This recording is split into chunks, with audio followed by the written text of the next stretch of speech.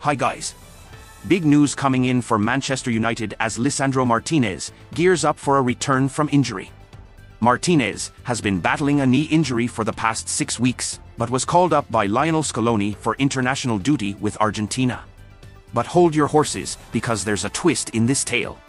According to the Daily Mail, Martinez has cut short his international stint and jet back to England on Saturday to focus on returning to full fitness for United's upcoming clash against Brentford.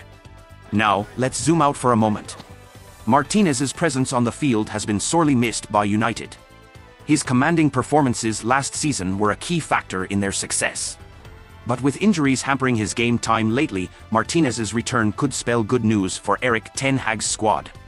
United's quest for a top-four finish and FA Cup glory might just get a boost with him back in action. The report adds, Martinez, who joined from Ajax in 2022 for an initial £47 million, will step up training at United's Carrington base over the coming week. The Red Devils initially allowed Martinez to link up with the World Cup winners to give him a boost in his recovery efforts. But what's next on the agenda? While Martinez misses out on international friendlies, United's focus shifts to the Brentford game, followed by a tough showdown against Chelsea. And every player's contribution counts for positive outcomes. So guys, are you excited about Lisandro Martinez's imminent return? Drop your thoughts in the comments below, and let's keep the football fever alive.